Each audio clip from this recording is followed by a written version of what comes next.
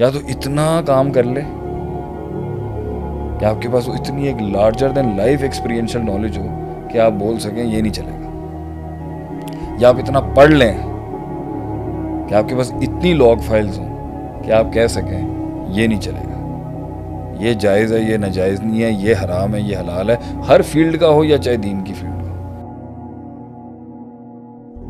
दो गहराइयाँ हैं। एक अमल की गहराई है, एक इल्म की गहराई है।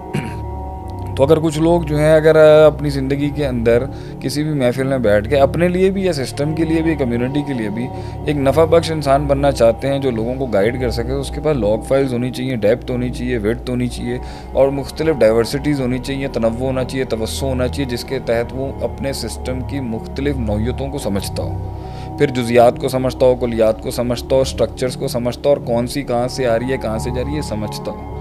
दूसरा तरीक़ेकार ये कि जिन्होंने इसको सॉल्व किया है ना दो तरीक़ेकार हैं वहाँ पहुँचने के। एक है अमल कर करके पहुँचे और एक है कि वो सब पढ़ ले जो सब किया है लोगों ने। ठीक है अगर हमने जगह पहुँचना है तो वहाँ वहाँ से जो जो लोग जो विजडम जो विजडम का लेवल है जहाँ देखें सबसे बड़ी बात यह है किसी भी फ़ील्ड के अभी हम बात करें मुख्तलिफ़ फ़ील्ड के आलिम बनने की नहीं क्या? जी जी फ़ील्ड पे टॉप पर जो आदमी बैठा होगा ना ही is going to be a wise man a very wise and गुजर के आया वो जैसे भी आए वो जो टॉप नॉच बेंच होगी ना वो विजडम की बेंच होगी जो सबको ये बताएगा यहाँ ये चलेगा ये नहीं चलेगा। सही है। ठीक है?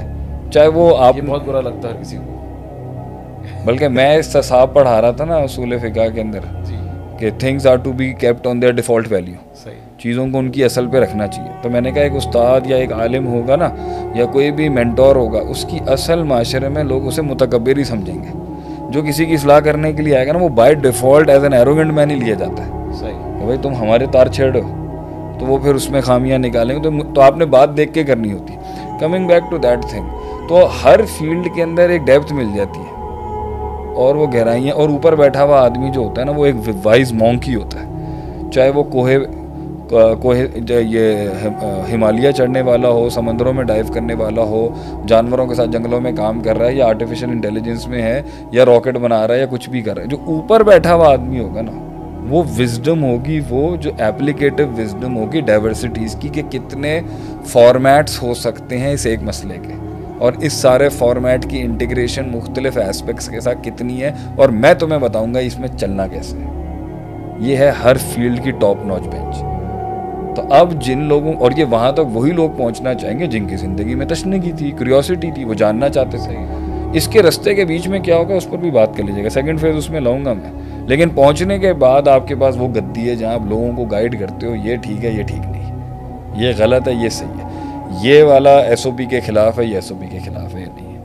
अब वहाँ पहुँचने के दो तरीके हैं ज़िंदगी में। या तो इतना काम कर ले कि आपके पास इतनी एक larger than life experiential knowledge हो कि आप बोल सकें, ये नहीं चलेगा. या आप इतना पढ़ लें कि आपके पास इतनी लॉग फाइल्स हों कि आप कह सकें, ये नहीं चलेगा। ये जायज़ है, ये नाजायज़ नहीं है, ये हराम है, ये हलाल है। हर फ़ील्ड का हो या चाहे दीन की फ़ील्ड का तो वो डेप्थ ऑफ़ ह्यूमन विजडम जो सबसे टॉप नॉच लेवल पे होती है ना, वो उसको मिलती है जिसने फिक्री जंगें बहुत लड़ी होती हैं। और वो मुख्तलिफ़ एस्पेक्ट्स और डोमेन्स के अंदर वक्त लगा के आया होता।